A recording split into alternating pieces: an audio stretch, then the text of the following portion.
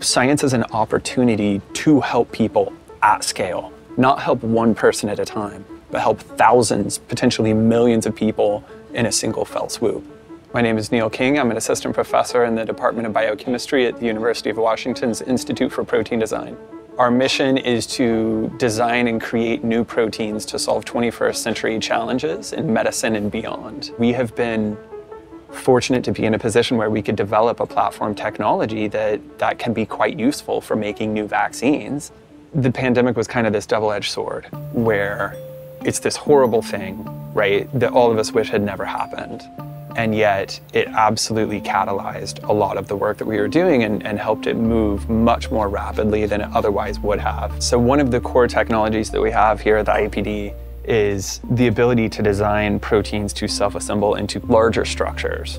We turn these into vaccines by taking just one fragment of a virus and attaching that to our protein nanoparticles. The reason this makes a better vaccine is because your immune system has evolved to detect repetition as a danger signal. So viruses themselves are symmetric, repetitive arrangements of proteins.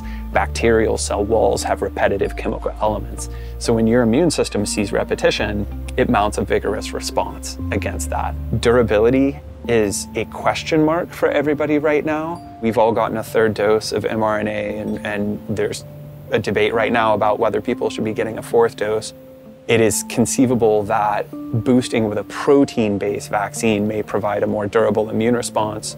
And these self-assembling proteins that we design, we have been able to use to elicit broadly protective immune responses against many different viruses, not just a single virus. So we had been working on kind of that core technology for a few years before the Audacious project but Audacious really allowed us to scale up our efforts there.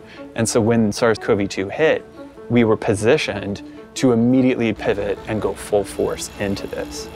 If we do this right, then we should be able to make a vaccine that prevents the next pandemic. And right now, it would be preventing a new SARS-like coronavirus from making the jump to humans. And there have been two of those in the last 20 years, SARS and SARS-CoV-2.